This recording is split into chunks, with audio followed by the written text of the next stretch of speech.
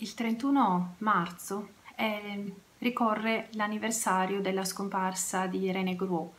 che è morto a Roma nel 2004. Quando Gruot morì aveva 95 anni e li aveva appena compiuti il 4 febbraio.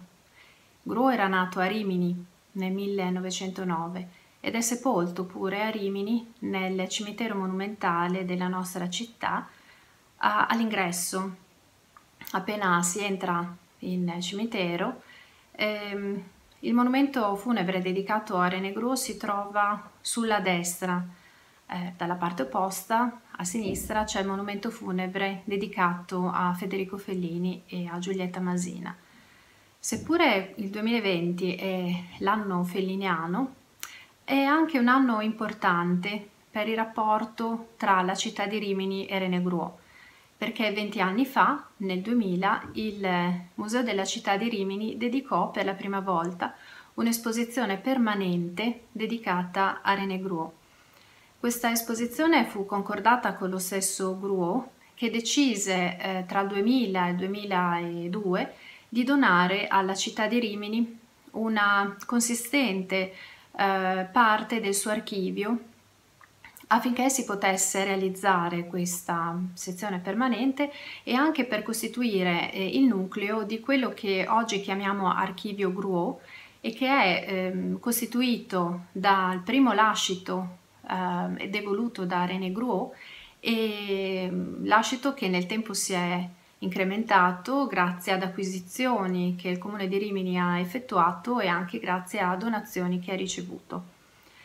L'archivio Gruot quindi consente di raccontare la storia di questo grande artista che è considerato il, forse uno dei più celebri, famosi disegnatori, illustratori di grafica pubblicitaria del mondo. E attraverso le opere dell'archivio si è compiuta una selezione che ora è esposta al Museo della città di Rimini.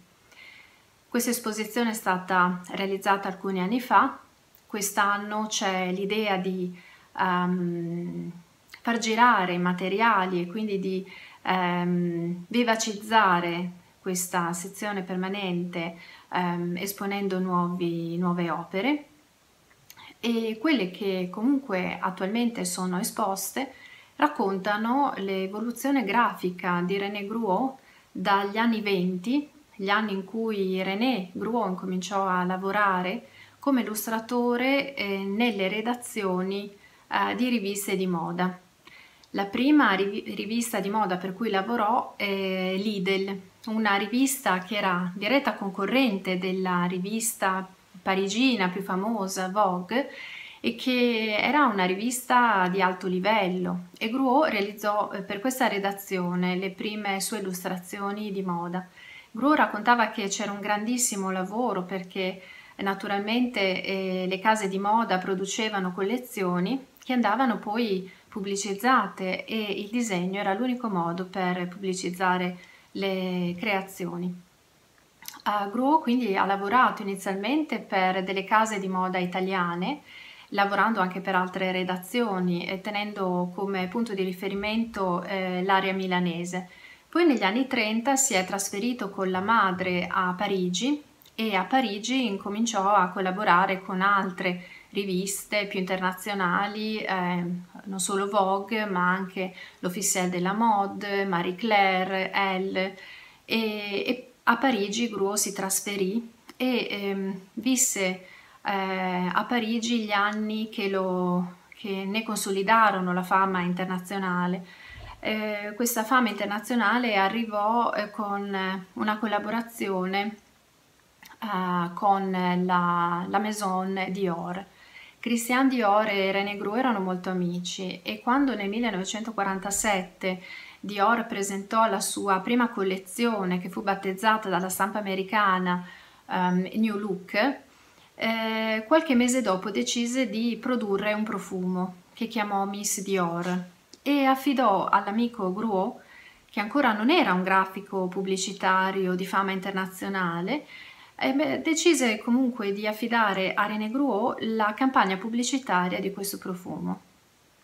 eh, Gros racconta che pensò a lungo come eh, realizzare l'illustrazione di, di questo profumo che doveva rappresentare la femminilità della nuova donna Dior.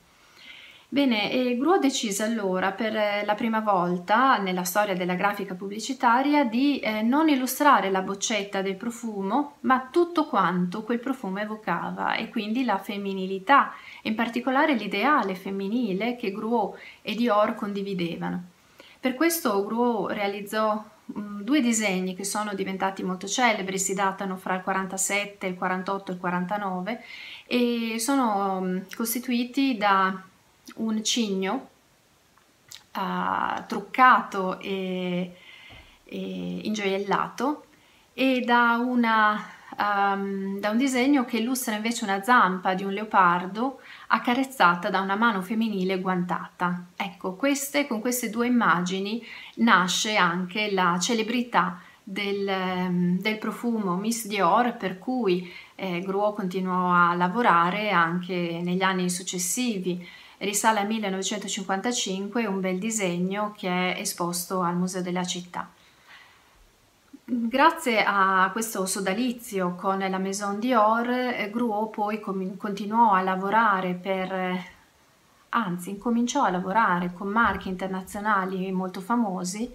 e mm, anche marchi del Made in Italy. Nonostante infatti eh, vivesse in Francia, tra Parigi e Cannes, Gruot continuò sempre a collaborare con aziende italiane. In particolare vorrei ricordare il sodalizio con l'azienda Bemberg. La Bemberg era un'azienda di Novara eh, che diventò famosa per la produzione di un filato artificiale che riuscì a sviluppare agli inizi del Novecento, il famoso filato Cupro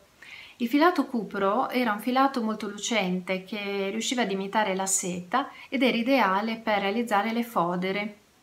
Queste fodere con il tessuto eh, cupro erano quelle che si trovavano negli atelier di moda più importanti, quelli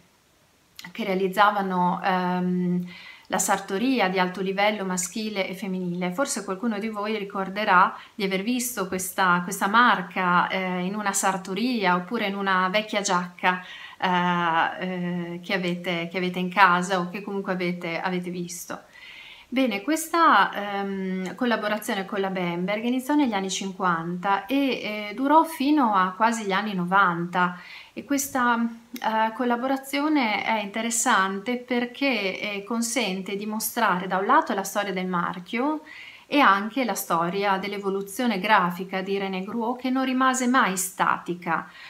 Um, Gru aveva una caratteristica, eh, il suo talento eh, riguardava anche la sua capacità di saper con pochi tratti eh, evocare eh, la rappresentazione, l'immagine che, che, voleva dare allo spettatore, lasciando spazio all'immaginazione di quest'ultimo. Questo è stato, credo, il suo più grande talento, un talento che gli ha consentito di continuare a lavorare anche quando dagli anni 50 la fotografia soppiantò praticamente il lavoro degli illustratori ehm, di grafiche pubblicitarie, mentre Gruot fu uno dei pochi a continuare a lavorare, io credo per questo suo talento nel saper essere molto molto efficace e quindi tante aziende preferirono affidare la rappresentazione dei propri marchi alla mano di René Gruot.